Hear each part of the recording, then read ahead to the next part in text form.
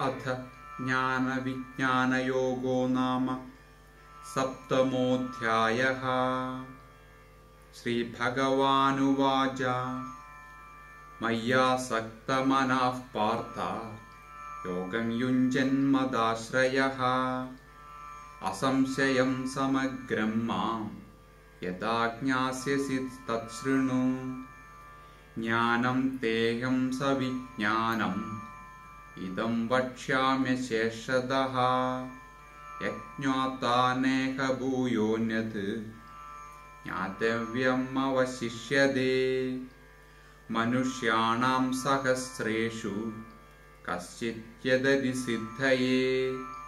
यतदामपि सिद्धानां कश्चिमां वेत्ति तत्त्वतः भूमिरापो नलो वायुः खं मनो बुद्धिरेव च अहङ्कारमिदीयं मे भिन्ना प्रकृतिरष्टथा। अपरेयमिदस्तन्यां प्रकृतिं विद्धि मे पराम्। जीवभूतां महाबाहो ययेदं धार्यते जगत्।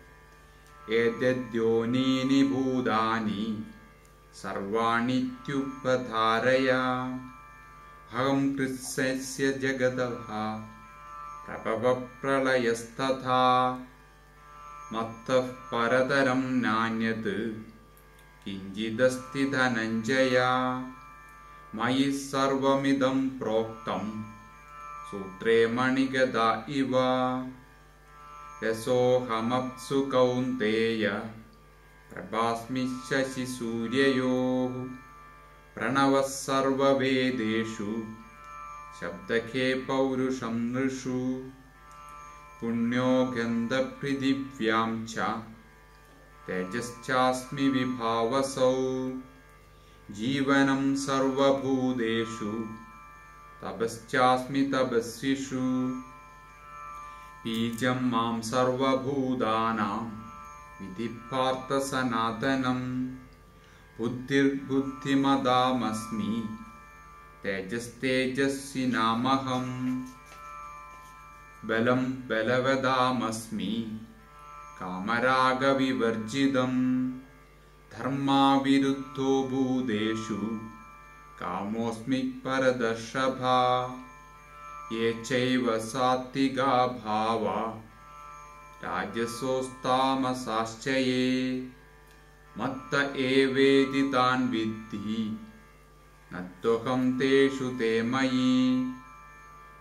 त्रिभिर्गुणमयैर्भावैः। एभिः सर्वमिदं जगत् मोहितं नाभिजानाति मामेभ्यः परमव्ययम्। दैवी ह्येषा गुणमयी मम माया दुरत्यया। मामेव ये प्रबध्यन्ते। मायामेतां तरन्ति ते। न मां दुष्कृतिनो मूढा। प्रपद्यन्ते तराधमा। मायया प्रहृतज्ञाना। आसुरं भावमाश्रिताः। चतुर्विधा भजन्ते मां जनासुकृतिनोऽर्जुन अर्थो जिज्ञासुरर्थार्थी ज्ञानी च परदर्शभा। तेषां ज्ञानी नित्ययुक्ता एकभक्तिर्विशिष्यते।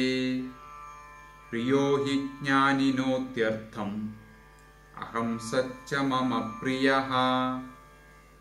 उदारा सर्व एते ज्ञानित्वात्नैव मे मदम्। अस्थितः स हि युक्तात्मा मामेवानुत्तमां गतिम्। बहूनां जन्मनामन्दे ज्ञानवान् मां प्रपद्यते। वासुदेवः सर्वमिति समात्मा सुदुर्लभः। कामैस्तैस्तिर्हृदज्ञाना प्रपद्यन्ते न देवताः तदं नियममास्ताय।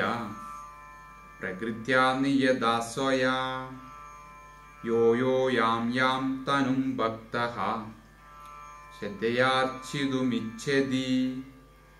तस्य तस्याचलां श्रद्धां तामेव विदधाम्यहम्। सतया श्रद्धया युक्तः तस्य राधनमीहदे। लभते च ततः कामान्।